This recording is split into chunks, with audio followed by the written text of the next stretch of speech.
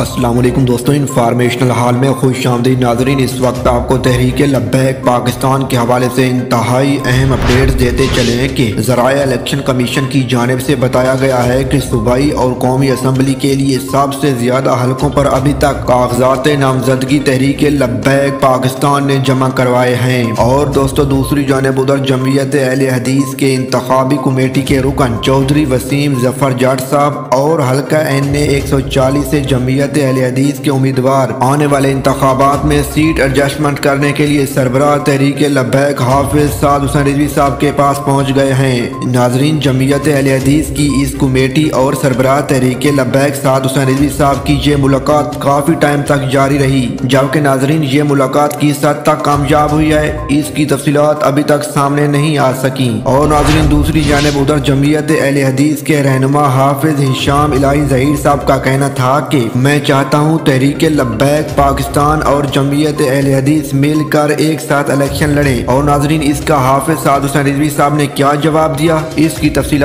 भी अभी आना बाकी है। नाजरीन, इस हवाले से जैसे ही कोई नई अपडेट सामने आएगी, आपको फ़ौरन आगाह कर दिया जाएगा। अल्लाह हाफिज।